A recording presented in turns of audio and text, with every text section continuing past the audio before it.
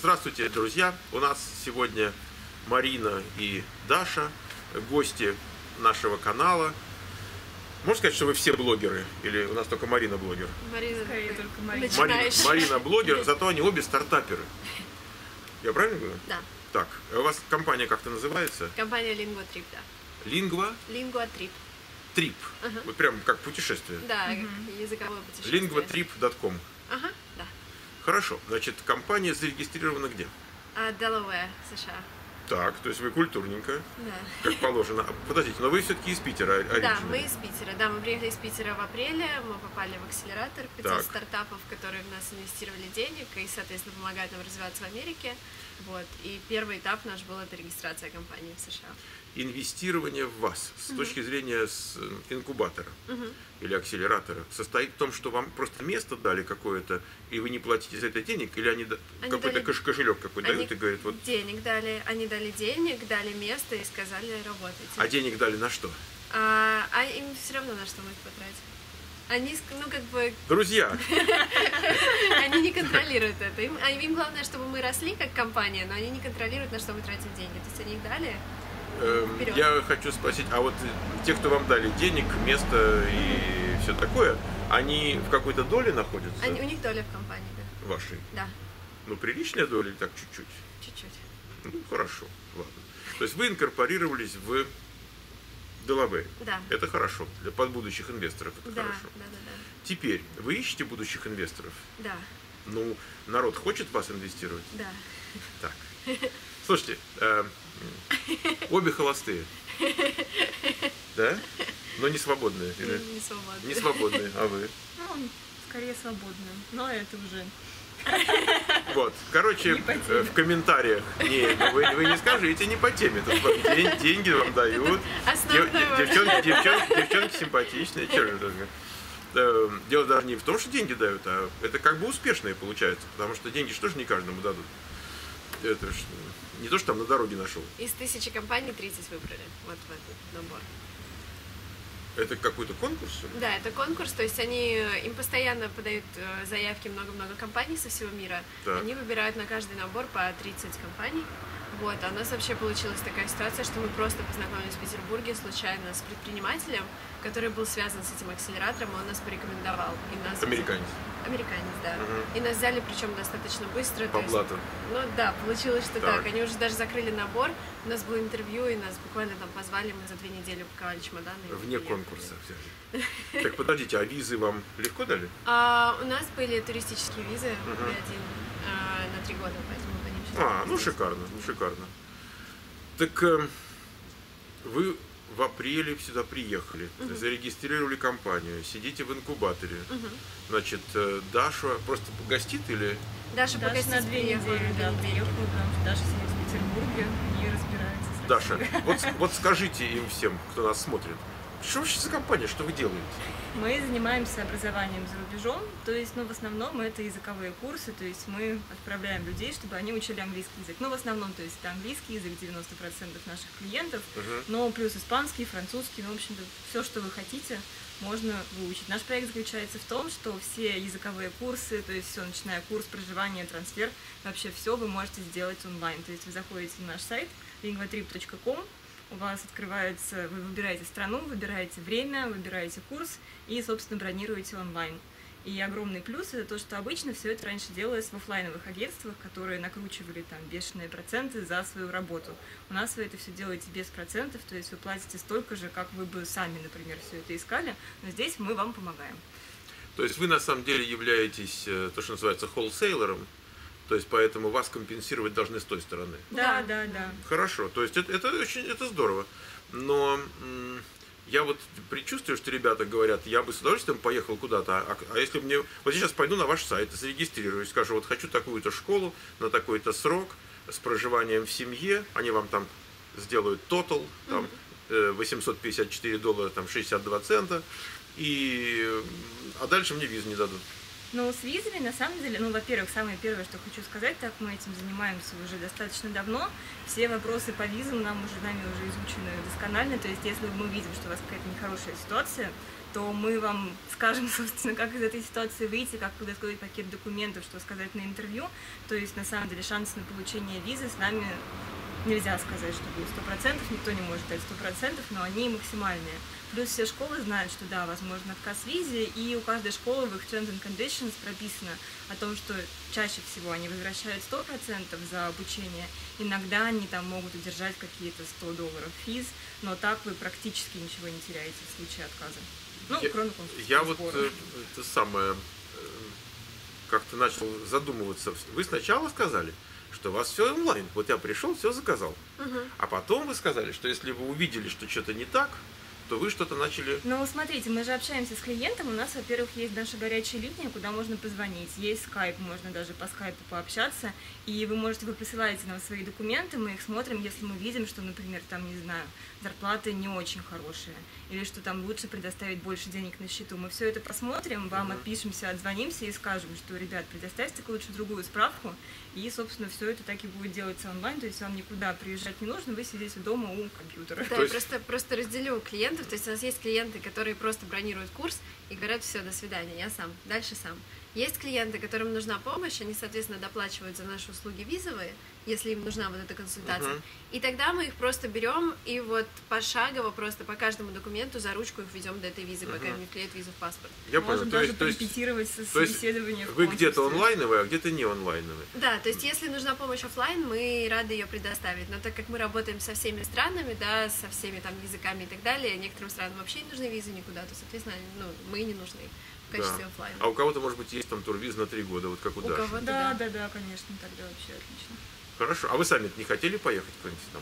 Ну, я на самом деле сама училась, и Уже когда еще, объездилась. да, я училась, когда я училась еще в университете, я учила испанский, и, собственно, сама также ездила по школам, поэтому, собственно, поэтому В я... Питере? Нет, ну, не, ну я из Питера, соответственно, Да. поехала в Испанию, да, учить Мгм. язык, соответственно, именно поэтому еще я так болею за это дело, потому что на своей шкуре, можно сказать, убедилась, как, не знаю, буквально до- за неделю проживания в стране можно подтянуть свой язык до таких. Что, действительно? Да, да, ну потому что, как я говорю, кушать захочется очень. Нет, подождите, но вы, вы по образованию филолог? Да. А, то есть, это- то есть вы на самом деле и так знали, вам надо было полирнуть.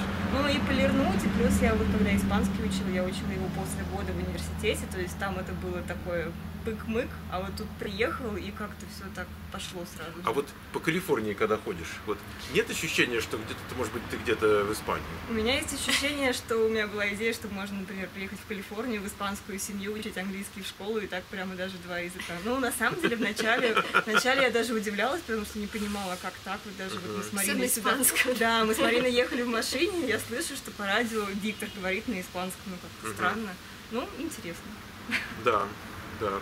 Так, ну хорошо. А вот с точки зрения развития дальнейшего, то есть у вас уже было сколько-то людей, которые через вас Да. завершили процесс. Ну а, а дальше что? Вы будете на разных языках, вы будете Да, у нас для сейчас... разных стран. То есть сейчас мы, у нас, ну, большинство клиентов из русскоговорящих стран, потому что мы сами оттуда, да, Да. начинали там. Сейчас у нас уже появляются клиенты из Испании, из Франции, то есть со всего мира, да, потому что Но уже не платформа онлайн- русскоговорящие. Уже не русскоговорящие, уже те, кто нам не звонит вообще, кто делает все онлайн. А откуда они знают, что вы есть на свете? А, уже работает э, Google, да, потому что мы по некоторым школам мы уже в топе. То есть, если набить, например, название школы или там изучается английский там в США, грубо Мгм. говоря, мы уже появляемся в топе, потому что мы локализованы на английском, русском, испанском. Сейчас мы начинаем, да, ну, другие языки, да, для других рынков То есть работать. э, вы в состоянии, вот даже будучи относительно новым веб-сайтом, да, Мгм. подняться доста- достаточно высоко в поиске. У нас еще, ну вот плюс такой большой был, что мы купили вот этот lingotrip.com домен, он раньше принадлежал испанской школе, а, но потом они как-то, видимо, сменили название, и у него понял. очень хорошая история. Я понял, есть я тоже- понял. тоже Он, он вас большой. вытаскивает наверх. Да. Ну хорошо. Теперь я хочу понять э, с точки зрения, вот, например, конкуренции. Вы уже с кем-то конкурируете или э, конкуренция может возникнуть, когда люди увидят, что вы это делаете? Вот как вы себя пози- позиционируете на рынке? Вот есть что-то, кто-то кроме вас, вот с кем бы вы тол- толкались, там как-то пихались? Мы толкаемся, да, с оффлайновыми агентствами, то есть почему вообще индустрия, это уже как с того, с того момента, как она появилась, она оперирует оффлайн, как travel индустрия 20 Да, лет назад. То есть да. мы приходили, там подписывали договоры, там получали эти ваучеры бумажные. Некоторые так еще до сих пор делают, да. И в обра- образовании за рубежом это вот прямо сейчас так и есть в каждом городе есть агентство, Да. и все там переплачивают, ну, это где-то там от 300 до 500 долларов агентские услуги, и агенты там все это благополучно на бумажках делают. Ну, все-таки там же не только ты переплачиваешь, ты все-таки какой-то сервис получаешь. Они могут тебе посоветовать что-то. Ну, Да. мы же тоже сейчас советуем. Правда, мы советуем онлайн, но все то же самое происходит. Это то же самое, только вы понимаете, когда в агентство идете, у них там есть 10 школ, с которыми они привыкли работать, и вот они вам из 10 школ предлагают. У нас на сайте очень много уже аккредитованных школ, там больше 300, например, если смотреть про английский язык. Они все с отзывами реальных студентов, с историями, с фотографиями реальных студентов. То есть мы переносим вот это все, весь experience, да, Я понял. У вас онлайн. гораздо больше круг э, тех школ, которые вы предлагаете. Да. А вы их как-то лично знаете, эти школы? Или вот как вы... Вот говорите, вот школа, она у нас в списке. Э, Что предшествует этому? Ну, мы вообще начали тоже как оффлайн агентство в 2011, то есть мы уже 4 года в э, этой сфере. Очень многие Это школы хорошо. мы знаем лично, то есть потому что начинали как оффлайн, опять же, да, общались с директорами, мы постоянно ездим по конференциям, то есть на нашу платформу попадают только аккредитованные школы, чтобы у вас не было проблем с визой, чтобы вы были уверены на 100%, что там качественные преподаватели будут аккредитованы, да, а не просто там с улицы кто-то пришел рассказывать вам. А, вот, вот через эти конференции, и плюс мы постоянно требуем отзывы от наших студентов, да, которые уже куда-то ездят, они рассказывают, действительно ли все так. А вы их на видео снимаете? Студентов Да. у нас на самом деле, да, сейчас В вот у себя у покажите. нас блогер очень известная ездила, сейчас Лена Маша Троцкой ездила, Саша Маркина. Но они такие популярные блогеры среди молодежи. Они Хорошо. едут в школы и прямо снимают рассказывают, как все это происходит. Эм, Я хочу понять, а что принципиально вам мешает, например, эм, расширить это до состояния, ну, за пределы иностранных языков? Ну, почему они не могут поехать изучать там, не знаю, компьютер-сайенс какой-нибудь или там, я не знаю что, литературу? Ну, мы, на самом деле, следующий шаг будет, когда мы будем добавлять vocational courses, ну, то есть вот эти, которые до 6 месяцев, потому что все-таки, если вы бронируете бакалавриат, магистратуру, не хочется это делать онлайн. Ну, понятно, что никто этого не забронирует там в пару кликов. Это то, что когда Ну, действительно это нужно другой агент. рынок совсем, Да, да, когда да. нужно прийти пообщаться. Вот, но еще дело в том, что language, вот этот маркет, он очень большой, он 24 миллиарда, поэтому мы сейчас, В деньгах. да, в год. Поэтому мы сейчас на нем сконцентрированы. А вот э, с точки зрения человека, вот живет человек, вот вы питерские, живет человек в Питере, там, допустим, не знаю, Маша Иванова, там бухгалтер а, в Роснефть. И вот Маша Иванова думает, не махнуть ли мне на три недели там в Америку? Или что- откуда, от, почему вдруг Маша Иванова захотела на три недели куда-то ехать? Что три недели изменит в ее жизни? И что, что, э, грубо говоря, что она с этого будет иметь? Кроме того ощущения, что она лучше говорит по-английски. А, ну, у нас многие на самом деле едут, потому что они, они хотят вот какие-то перемены в жизни, да, потому что вот эта поездка, это не только вы идете учить язык, это у вас совершенно новые друзья, да, со всего мира, это другая атмосфера, вы окунаетесь опять в эту студенческую атмосферу, где студенты такие же люди, как вы, которые там профессионалы и так далее. А для некоторых важен сертификат, который получается в конце курса, да, чтобы положить в резюме, да, например, что у вас уровень английского. То есть это влияет? на Это влияет, То есть да. для, для поиска работы это хорошо? Это, Да. да, это же называется языковая стажировка. Хорошо, хорошо. А, а я У нас понял. еще один Да. момент, я работаю с клиентами, мы также еще визы делаем в офисе, ну просто мы умеем это делать и, собственно, Да. предлагаем. И на самом деле, если сейчас даже зайти на сайт туристических операторов, обычная поездка куда-нибудь в Великобританию, просто поездка, станет вам дороже, чем поездка с курсом, потому что даже сейчас иногда к нам приходила вот девушка делать британскую визу, принесла там бронь отеля, все, и я смотрю ее бронь отеля и говорю, вы не хотите язык поучить, вам еще дешевле выйдет проживание плюс язык плюс виза, чем вы просто так поедете. Она говорит, ну почему бы и нет. То есть даже если так сесть посчитать, То есть, выходит то есть школы языковые договариваются на месте с людьми, которые берут на проживание студентов, да? Поэтому получается, что э, проживание вот таким образом дешевле, чем, Да, скажем, в да, да, обычном конечно, отеле. гораздо. Вы знаете, что я подумал? Если там э, девчонки, мальчики тоже, кстати, а больше девочки, да, наверное? Больше девочки. Мальчики, значит, имейте в виду, там это- это вариант интересный. Значит, если кто, знаете, огорчение какое-то в личной жизни получил, или там развод, не дай бог, там, поезжайте вот так на пару-тройку недель, заодно язык подучите, и с людьми Кого позна- найдете? Не, не, не в том смысле. Просто, знаете, как-то сменить обстановку. А если уж заодно кого нового, это уже отдельно, это дополнительный бенефит. На самом деле такие знакомства завязываются, потому что у нас вот девочка ездила в Host Family, в принимающую семью, учить английский. И пришла к нам через полгода и сказала, что я еду в ту же самую хост семью просто так пожить теперь. Мне нужна виза. Бывает, То есть бывает. очень много всяких хороших знакомств, полезных, начинается именно с таких языковых поездок. Ну что же, вообще мир меняется. Я так просто думаю о том, что вы делаете, и у меня в сознании это как бы часть вот каких-то фундаментальных изменений, таких структурных, которые происходят в жизни людей в связи с интернетом и, я бы сказал, облегчением каких-то вот визовых ситуаций. Э, Вот вы знаете, что такое э, коуч-серфинг, да? Да. Когда люди вот там, может Да. быть, знакомятся там, э, хотел сказать, через койку, но не про... Ну, путем... другой стартап. Да, да, да, это да, проживание там. Да. У нас тут девушка была, кстати, я недавно вот интервьюировала, она вот так вот, э, коуч, коуч, так и замуж и вышла. Да? Да, э, так досерфалась, можно сказать. И э, блогер, хорошая девушка. Так что я хочу сказать, что э, мы вышли за рамки, там, скажем, отелей, да, вот, э, я не знаю, там, мы вышли за рамки такси. Да, это можно, там, просто человек тебя взял, подвез, Да. потому что ты на интернете договорился там на, как он там называется, Супер. на Uber, да, а, а где-то ты там Это, это Ну, share, да. Да, да, да. а в другом Да, месте да. ты там, э, значит, квартирку снял. Вот мы так в Голландию ехали, в Амстердаме. Airbnb. Airbnb, Airbnb сняли квартирку, и в Киеве точно так же мы сняли квартирку на Крещатике, вот прямо. Мгм. прямо перед тем, как вот на Майдане, но до того. Мгм. Вот, э, да, значит, нам теперь говорят, не едьте туда, не едьте сюда, а то будет как тогда. Куда поедете, там что-нибудь случится. Да, у нас знакомая, я расскажу так, ехала в Минск, э, а их компания там аутсорсинг имеет. И там нужно было какую-то координацию произвести. И она ехала с, с начальником американцем, и в Минске на границе, там в аэропорту ей говорят э, цель поездки. Она говорит, митинги будем организовывать, сказала, сказала она, вот как мы тут говорим, значит, да, надо сказать, что ее поняли. Ее поняли, но долго возмущались, махали руками. Митинги она тут будет нам организовывать. Там сказала бы, совещание проводить буду там. Вот, она из лучших чувств. Так что, ну что же, друзья, вот так поедете на три недельки и разучитесь по-русски. А бывает так, вот отправишь кого-нибудь на три недели, а он потом по-русски хуже говорит. У меня такое было. Ну, то есть с моими языковыми путешествиями именно такое было. То есть, Так. есть именно просто там суть в том, что когда едете в такое путешествие, нужно отключить там телефон, да, и так далее, с русскими связь оборвать. То есть Так. жить в принимающей семье, ходить в школу, не говорить по-русски.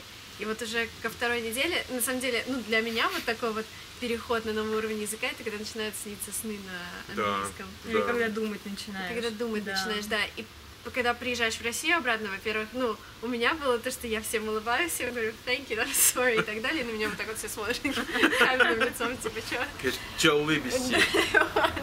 Да. В, аэропорту уже начинается. Да, уже начинаю с паспортного контроля, паспорт. Да, видите, как, значит, э, погружение так Да, полное погружение, да, и, ну, вот изолируешься от всего от этого, и на самом деле, да, Первый раз я попал на интервью, ну, много-много лет назад, вот только-только мы приехали, я был там часа два на этом интервью, ну, может быть, полчаса нужно было там на машине доехать до места, и вот полчаса я возвращался, пришел домой, и, наверное, часа два-три после этого все, Света меня что-нибудь спрашивает, жена, а я ей по-английски. М, То есть не мог отойти после этого интервью. То есть, конечно, да, когда мозги туда щелк, да. Э, и, и в семье хорошо пожить, и, и, с- и лю- люди, которые там э, по-русски не понимают, это большое удобство. Да, это очень хорошо. Ну что ж, девочки, я на самом деле с интересом наблюдаю и э, очень вам желаю успехов, потому что если вы будете успешными, то это будет как бы вклад в то, что всем, ну не всем, но очень многим другим людям станет легче жить. Потому что некоторые думают, что можно быть успешным так, чтобы вот у всех поотнимать, то есть никому не дать, только себе взять. И это как-то вот эта мысль их греет. А На самом деле, если ты хочешь что-то такое получить, то как бы Надо отдавать, да. так, чем больше так вот разбросал там Мгм. по планете. Ну что же, дело хорошее. А, а есть что-то, что вас, например, беспокоит? Вот, какие-то есть у вас беспокойства? Нас беспокоит курс рубля сейчас. Да. Потому что все, ну, то есть, потому что у нас все в долларах, да, для наших основных клиентов, да, которые М. из России. Им становится все дороже и Я дороже понял, ехать. я понял. А я вот как блогер э, понес убытки от курса рубля. Вот если бы курс рубля был как год назад, я бы сейчас э, на канале «Голос Силиконовой долины» получал бы тысячу долларов э, в месяц. М. А так только половину. А он в рублях, да? получается? Ну, там же у нас зрители же оттуда. А, Они на рубли, на гривны. То есть вот та реклама, которую они там а, накликивает. накликивают, значит, она потом переводится в, доллары по курсу. Мгм. Так что, друзья, американские блогеры, Давайте. вот они, вот они пострадали на этом деле, но никто не жалуется. Никто не жалуется, мы привыкли страдать, друзья. Вот. Зато в Россию ездить дешевле. Это кто ездит? Ну, кто ездит, да. Да, а у меня вот и визы нету. Да, ну, это уже следующий вопрос. Хорошо, ребят, я, я хотел вам показать э, интересный стартап, интересного блогера, потому что Марина ведет блог. Давайте, может быть, пару слов. Эм, вы как давно блог ведете? А я начала зимой это, и на самом деле просто я еще поступала в университет в американский, и я начала вообще с этого. Мне просто хотелось ребятам рассказать, как сдавать все вот эти экзамены для, ну, TOEFL, да, так далее, для поступления. Я стала просто снимать блог, а потом это переросло. Ну, ну рассказали. Да, все рассказала, мне все подробно рассказано на канале, как я поступала, куда. С- Сколько у вас всего там сейчас видео? 17. А, то есть вы так содержательно рассказываете. Так, не спеша. У меня, нет, я сейчас наращиваю темпы, то есть у меня сейчас будет больше видео, просто, ну, я говорю, когда компанией занимаешься, там, в Америку переезжали, то есть все, очень много всего случилось, у меня сейчас в телефоне заполнена память, потому что я всего наснимала, и я сейчас буду выкладывать. Может, вам камеру подарить? Хотите камеру? Давайте камеру. Подарим вам камеру. Хорошо. Отлично. Ладно, значит, только вы тогда снимаете почаще. Да, я буду снимать все, я уже все снимаю, снимаю, надо, надо Хорошо. Ладно, значит, и вы знаете, тут девочки, они снимают на такой удочку на такую. Да, удочку. Да, вот у них такая удочка, вот они с ней ходят, так Селфи-палка удочка называется. Как, как? Селфи-палка. Селфи-стик. Ну, А, селфи селфи-палка, я думал, так она сел. Стик, окей. Вот с этим селфи-стиком, и я думаю, надо же. Эм, Я еще хочу сказать, что Марина как-то меня сконтактировала в Фейсбуке, да? Да. В Фейсбуке и говорит, давайте, мол, там встретимся, поговорим. До того, как это произошло, э, у меня было двое из наших э, зрителей, которые написали, когда я спрашивал, там, советуете, с кем из э, блогеров там сделать интервью, разговор какой-то, значит, у нас было больше, чем один человек, который на вас показали. Серьезно? Да, я даже Ух фамилию ты. вашу знаю. Ух ты, Да, спасибо. вот э, с тех пор. И, Ну, фамилия у меня запоминающаяся. Не да. Но не суть. В общем, давайте мы с вами только, знаете, что договоримся? Вы под видео, под этим, которое я повешу, вы там отметьтесь. То есть вы скажете, это вот я, э, там и туда-сюда, чтобы они могли вас контактировать. Потому что э, особенно, хотел сказать, особенно которые э, вообще девчонками интересуются. Но я, ну, ну и помимо них. Стартапы. Старта- наверное. ста- вот. Обучением за рубежом. Вот, вот, вот, это самое, да. А то у меня, знаете, я тут девочку одну показал, очень симпатичную, хорошую татарскую девочку, и мне мальчик написал э, из э, Торонто. Да, я его понимаю, потому что это совершенно, конечно, взрыв мозга, так он ее увидел, и все. И, но я их как-то так свел там и с разрешения. Значит, и тут я ей говорю на днях, ну как вот? Она говорит, я так занята, говорит, я думаю, вот они, понимаешь? никакого, можно сказать, нет сострадания. Да, ну ничего. Значит, ребят, эм, задавайте вопросы, так, э, двигайтесь на канал э, к Марине, я ссылочку дам, так, чтобы было э, проще. И я думаю, что на самом деле вы своими вопросами в зна- в значительной степени определите, вот какой из многочисленных потенциалов э, Марины э, разрядиться вот на этот канал, потому что она сейчас делает что-то, но это просто потому, что вы еще не подошли там и не сказали вот, а вот это, а вот это, а вот это, потому что у нее много чего есть, она и про балет может. И про балет. Вот, любители балета, значит, а вы с детства? С 8 лет, да. А, не то, что с трех там надо. Не, не, не, я с восьми начала. Я начала в театре, в мюзик-холле у нас в Петербурге, и потом потихонечку. Но вы выступали? Да, я выступала на большой сцене. Да вы что? А правда, что она так наклонная? Нет, у нас прямая. Сцена вот такая наклонная. И они так крутятся, Да? крутятся. Не, я не знаю, у нас мюзик-холл, он как бы не специализируется на балете, Мгм. там в основном и танцы и так далее, но потом я просто после мюзик-холла как раз углубилась именно в балет. Вот, А как же вы в математике бы, наверное? А вот в 14 лет мне пришлось бросить так, ну, профессионально, да, заниматься танцами, потому что нужно было готовиться к поступлению э, и так далее, и уже стала углубляться в математику, в экономику и так далее, и стала поступать ну, в ВУЗ. В общем, друзья, задавайте вопросы. Я, я такой к этому. Значит, э, но я, я думаю, что и Даша, и многие захотят вопросы какие-то задать. Да, Даша будет отвечать всегда, просто. да. Значит, Даша работает э, в питерском Да, офисе. поэтому по российскому времени можете всегда со мной связываться. Да, тогда, тогда вы тоже что-нибудь им там напишите. А если вот я пришел на сайт вашей компании, и там написано контакт АС или что-то, да? На самом деле там есть окошечко всплывающее внизу, Живосайт. Туда можно всегда написать свое сообщение, ну и, конечно, лучше контактные данные оставить. Либо есть наша горячая линия 8 800, которая для России бесплатная, по ней тоже можно позвонить. Мы всегда берем с 9 утра до 9 вечера, иногда даже Так это вы лично там? Ну, иногда я, иногда моя коллега там. Но обычно я. Ну хорошо, значит, ребят, я думаю, что мы э, на сегодня так э, представление закончили. И давайте мы сейчас всем помашем так рукой, скажем пока. Пока-пока. Да, друзья, мы прощаемся с э, блогерами, стартаперами, работниками дома моделей питерского. Они уезжают на автомобиле, который не только внешне, но и в сущности своей является полицейской машиной. Значит, девчонки приобрели это хозяйство по случаю и очень довольны. Я правильно говорю? Очень довольна. Очень довольны. Значит, от них на дороге все шарахаются. Вот. И, можно сказать, ведут себя вежливо. Никто не подрезает. Мы дарим радость людям на дороге. Вот. Хорошо. Все. Ладно. Счастливо, девочки. Большое. Пока. До свидания.